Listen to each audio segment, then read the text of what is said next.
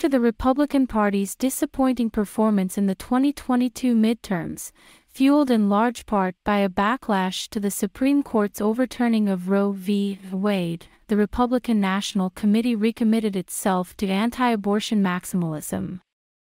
A resolution adopted at the R.N.C.S. winter meeting in January urges Republican lawmakers to pass the strongest pro life legislation possible. Addressing their party's poor showing in November, it said that Republicans hadn't been aggressive enough in defending anti abortion values, urging them to go on offense in the 2024 election cycle. The 11 point loss of the Republican aligned candidate in Wisconsin's Supreme Court election on Tuesday has influential conservatives rethinking this strategy.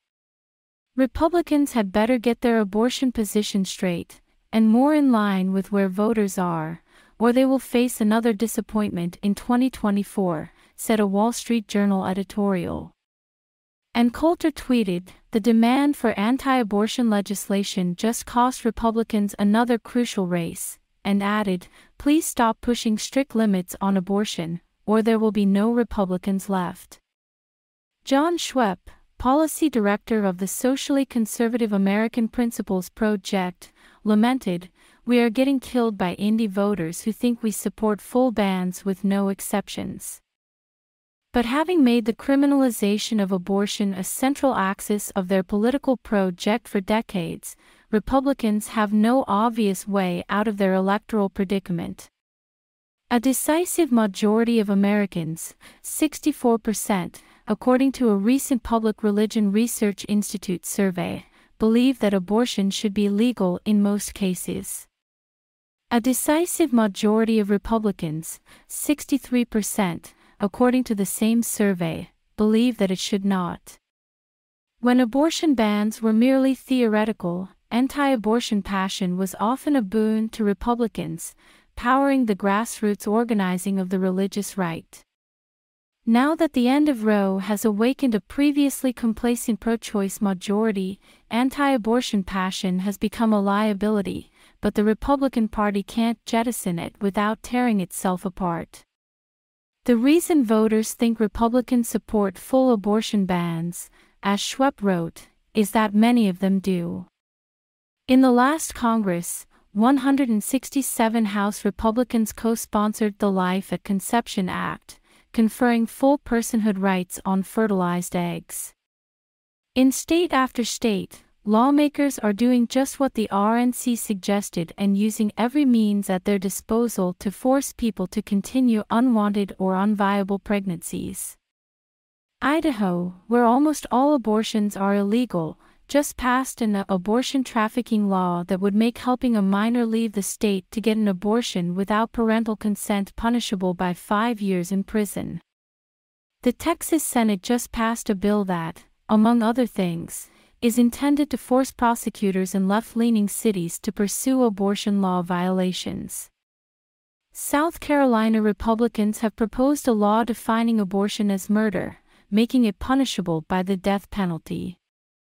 In Florida, which already has a 15 week abortion ban, Governor Ron DeSantis is expected to soon sign a law banning almost all abortions at six weeks. This isn't something Florida voters want, Polls show a majority of them support abortion rights, but it's a virtual prerequisite for his likely presidential campaign. Republican attempts to moderate abortion prohibitions even slightly have, for the most part, gone nowhere.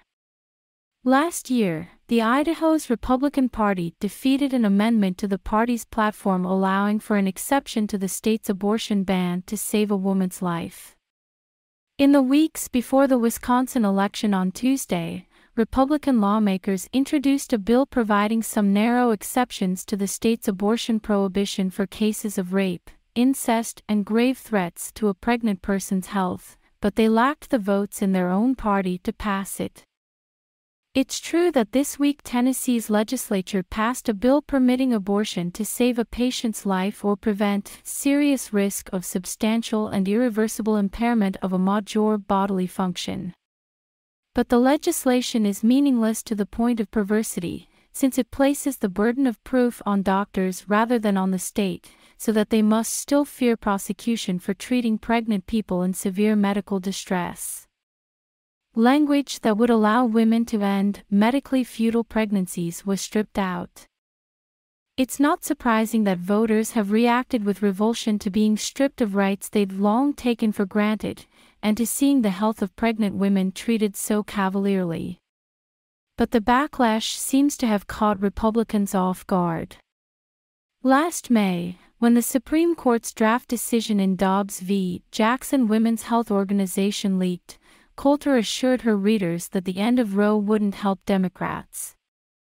Outside of the media, no one seems especially bothered by the decision, she wrote.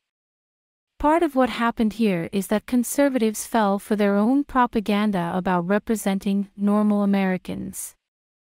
This, incidentally, is the same reason many on the right can't admit to themselves that Donald Trump lost in 2020. Coulter was sure Americans would be turned off by those outraged by the end of Roe, writing, Everybody hates the feminists. When a poll last year showed that 55% of Americans identified as pro choice, a piece in National Review told readers not to worry, many of our policy goals enjoy strong public support. Untethered to actual Republican voters, Coulter was able to pivot, but the Republican Party cannot. Instead, its leaders are adopting a self-soothing tactic sometimes seen on the left, insisting they're being defeated because they've failed to make their values clear, not because their values are unpopular. When you're losing by 10 points, there is a messaging issue, the Republican Party chairwoman, Ronna McDaniel, said on Fox News, explaining the loss in Wisconsin. But you can't message away forced birth. Republicans' political problem is twofold. Their supporters take the party's position on abortion seriously, and now, post Roe, so does everyone else.